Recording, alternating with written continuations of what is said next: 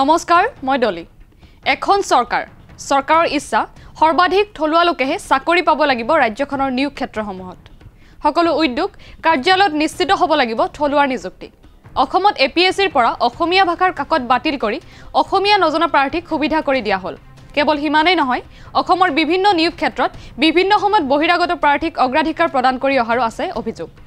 কিন্তু অসমৰ দৰে এখন ৰাজ্যই থলুৱাৰ নিয়োগ নিশ্চিতিৰ বাবেই ৰাজ্য চৰকাৰখনে উচ্চ ন্যায়ালয়ক প্ৰত্যাহ্বান জনাই যুঁজ দিলে উচ্চতম ন্যায়ালয়ত। অৱশেষত বৃহস্পতিবাৰে নিৰ্দেশনা জাৰি কৰিলে উচ্চতম ন্যায়ালয়ে। নিৰ্দেশনা জাৰি কৰিলে ৰাজ্য চৰকাৰৰ পক্ষত। থলুৱাৰ বাবে থলুৱাৰ নিয়োগ নিশ্চিতিৰ বাবে উচ্চতম ন্যায়ালয়ত যুঁজ দিয়া ৰাজ্য চৰকাৰখনৰ কথা পাতিম কিন্তু দ্য ক্ৰছ কেন বুলেটিনত প্ৰথমেই চাই লওক দিনটোৰ খবৰ। মাজুলীত বলিছে নিৰ্বাচনী বঁটা। সৰ্বানন্দ সোণোৱালৰ বিধায়ক পদ ত্যাগৰ পিছতেই খালী হৈ ৰৈছিল মাজুলীৰ বিধায়ক পদ।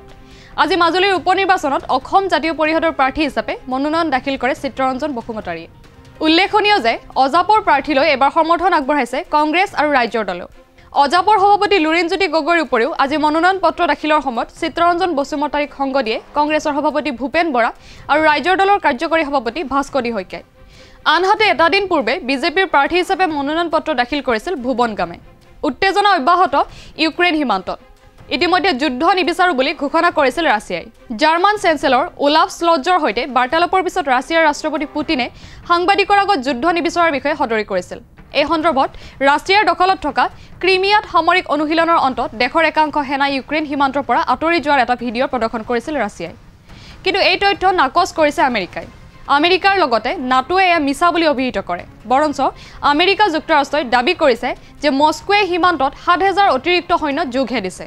ৰাষ্ট্ৰীয়তাবাদ আৰু আত্মনিৰ্ভৰশীল ভাৰতৰ নামত পানীৰ দৰত বিক্ৰী হ'বলৈ লৈছে নগাঁও আৰু কাছৰ কাগজ কলৰ দুহেজাৰ একৰ মাটিসহ অত্যাধুনিক যন্ত্ৰপাতি।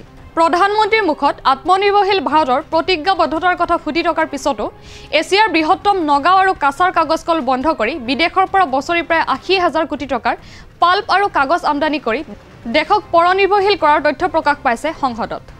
আজি এক প্ৰেছ বিবৃতি প্ৰদান কৰি কাগজ কল দুটাৰ কৰ্মচাৰী সংস্থাই অভিযোগ আনিছে দুহেজাৰ একৈছ চনৰ মে' মাহত কাগজ কলৰ সম্পত্তিৰ ন্যূনতম মূল্য এহাজাৰ এশ ঊনচল্লিছ কোটি টকা ধাৰ্য কৰা হৈছিল।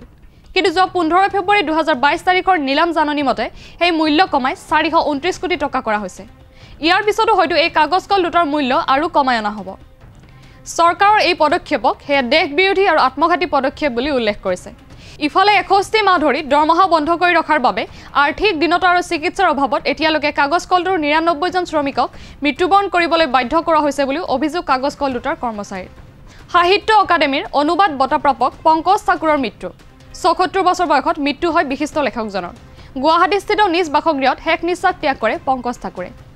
পাৰ্কিনছন আৰু আংশিক ডিমনেছিয়া ৰোগত আক্ৰান্ত আছিল ঠাকুৰ। আজিৰ অসম কাকতৰ দেওবৰীয়া সংখ্যাৰ সম্পাদক আছিল ঠাকুৰ। টাইমছ অৱ ইণ্ডিয়াৰ আমাৰ সময় আলোচনীৰ সম্পাদক আছিল ঠাকুৰ। বিদীৰ্ণ বাগজাইৰ বাবে লেখকগৰাকীয়ে লাভ কৰিছিল সাহিত্য অকাডেমী অনুবাদ বঁটা। পঞ্জাৱৰ নিৰ্বাচনী প্ৰচাৰত প্ৰাক্তন প্ৰধানমন্ত্ৰী মনমোহন সিং পাঁচ ৰাজ্যৰ নিৰ্বাচনৰ মাজত প্ৰথমবাৰলৈ এক ভিডিঅ' বাৰ্তাযোগে নিৰ্বাচনী প্ৰচাৰত অংশ ল'লে মনমোহন সিঙে।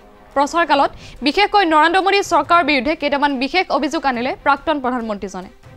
মনমোহন সিঙৰ বক্তব্য মই কথা কম কওঁ কিন্তু কাম বেছি কৰোঁ। প্ৰধানমন্ত্ৰী হিচাপে মই কথাতকৈ কাম বেছিকৈ কৰাটো বিচাৰোঁ।